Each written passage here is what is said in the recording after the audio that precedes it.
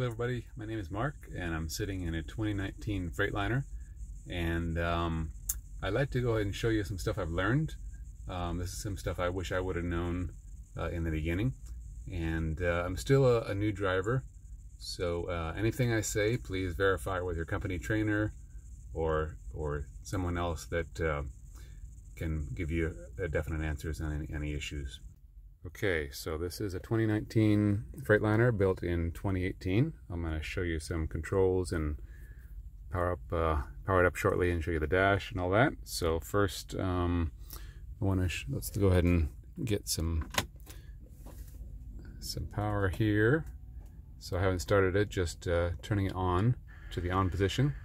So um, we've got those are the uh, lane departure warnings testing out when you power on. So on the left side, I guess I'll go ahead and start it up here. So let's go ahead and start it up.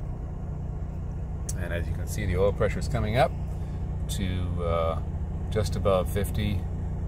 Uh, it does that when it's cold. Uh, once it's warmed up, it's going to be below 50. And, um, and then when you're on the road and idling, or, or um, coasting, it can be all the way down to that first mark, just above the zero. As soon as you step on the uh, on the accelerator, it's going to speed up. It's going the oil pressure is going to increase. Okay, you see the fuel. So we have the uh, gray line on the fuel is for diesel, and the blue line is for DEF. Okay, we've got our RPM right here, and um, so that's just uh, idling and warming up got temperature here, zero miles per hour. We're in uh, neutral. If I swift if I shift it to drive, I'll put my foot on the brake and turn the uh, turn the shifter. Here it is. So just go to shift, just go to drive, and now you can see it's in one. So I'll shift back to neutral, and now it's there. And of course you can go to reverse also. And um, okay, we got mileage of course the speedometer there, uh, analog, and air pressure. It's already been started recently, so air pressure built up a little bit. It'll cut off around 125, and then engine temperature on the bottom right. So um, we have some displays. So if you look here, um, so I've got to operate the displays. I've got this uh, control right here, and um, you can see here. So I'm going to go to the left and then it shows trip miles per gallon. Uh, so at, at, the top is a bar, little bar graph that'll be showing where you're driving. It'll be green and show you how many miles per gallon you're getting.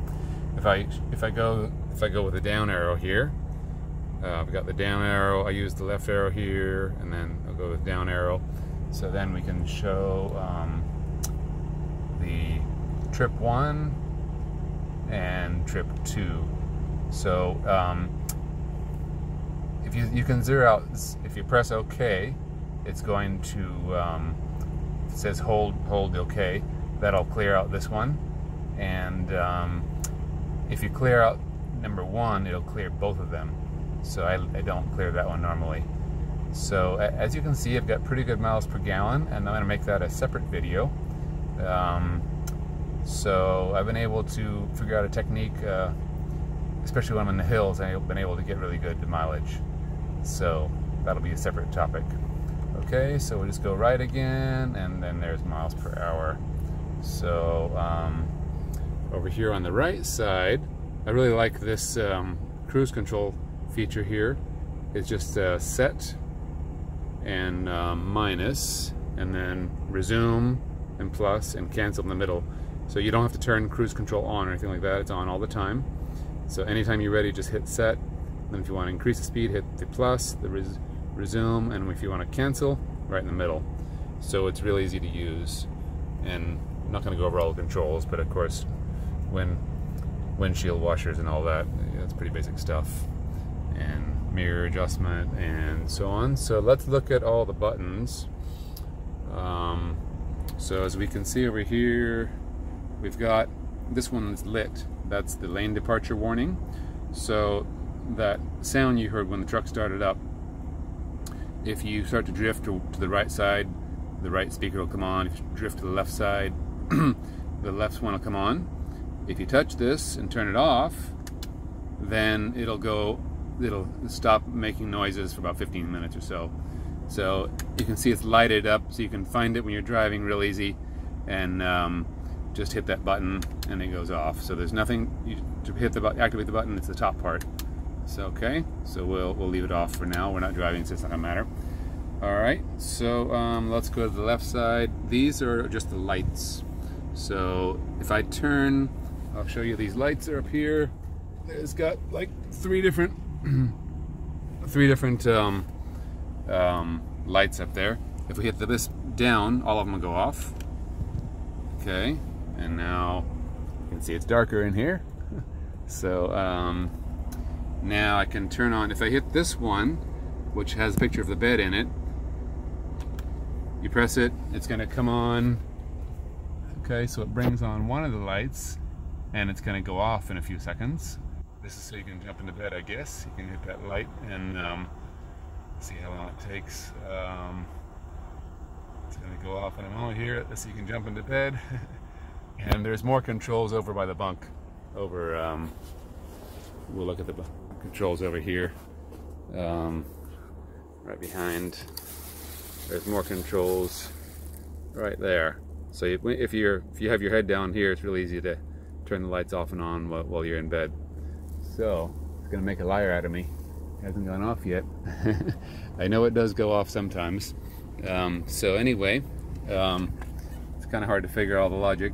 So now, um, if you hit the other one, that turns on one more light, and then this is the then we have uh, one more, and that's, uh, so I usually hit all three switches. I like to have it nice and bright. This one is for your light test. So uh, if you do that, then it's going to activate your, um, your light test. All the blinkers, high beams, low beams, and you'll see the dash. You see that there's the blinkers coming on, headlights on, high beam on, so on. So we'll just uh, turn that one off. Uh, of course, we got our flashers. And then we have the footwell. That's that light down there. Okay.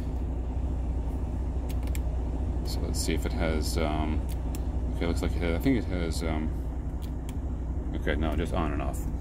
Okay, so, um, I thought I knew all the buttons, but, um, looks like there's some I haven't gone over. So I, I haven't messed with this one, ATC spin.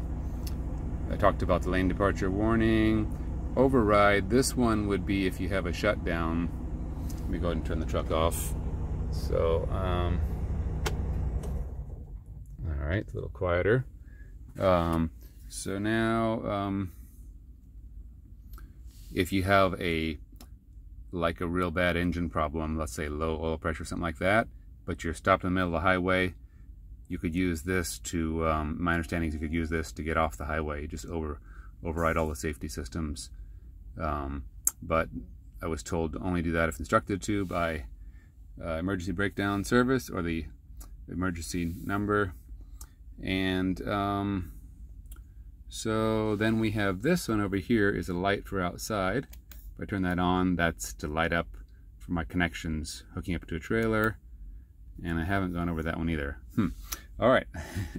well, the ones I have looked at are these. Um, so uh, this this one is to um, sort of like a four-wheel drive, and uh, that will lock the second axle. So like if you're on in a dirt yard or somewhere where the traction's not real good, then um, you can like if only one axle is active, then you could spin and if the ground is uneven you might be might be might get stuck. So I was told you can turn this on anytime you're moving but not spinning. So if you're stopped that's fine. You just hit that and um, press press in and uh, you don't want to activate it you don't want to hit it while you're spinning but um, it's okay to do it while you're moving or stopped and um, you don't want to leave it on all the time because uh, one time I had used it in a, in a dirt yard and then I was driving and just didn't seem right. Didn't have, the truck didn't have the same pep as normal. And I finally pulled over and then I saw this is on. I turned it off and uh, I was back to normal again. So this is to release the kingpin. That's only got to work, of course, if your brakes are set. And this is to slide the fifth wheel. That's a that's a uh, certain. There's a fairly complicated procedure or a fairly involved procedure. It's not just you don't just press that uh, and it moves. So, and you got to use the trailer hold button. There's a sequence you go through. Okay, so um, uh, of course, anybody that gets a CDL should know what the air brakes do. Uh, this is to um, supply air and unlock the uh, trailer brakes. If you push it in, you pull it out, then see it's uh, it's pulled out right now. And uh, I don't have a trailer connected. So, and then this is uh, for the tractor brakes. So just a little tip. Um, this one really buzzes or, or just, it's kind of painful when you pull it out by itself. it's painful on my fingers. This one's easier. I pull this one out. If any want both of them out, I pull this one out and it pulls out both of them. Um, and that's more comfortable in the hands. And then um, if I only, a lot of times, if uh, a lot of times I don't need both um, to be locked and so when you when you want to go again it takes longer to release the trailer brakes so I find that it's better sometimes I, I hold this one in and pull this one out and then I'm I can I'm locked uh, parked but um, it's easier to get going again so all right so this is where the tablet goes, which is for the GPS and assignments. And over here is, um, almost don't look at these gauges here. That's axle temperatures. That's like never been an issue. No, but nobody's ever made a big deal about that. And of course, these are air conditioning controls. So, uh, we'll keep this one short.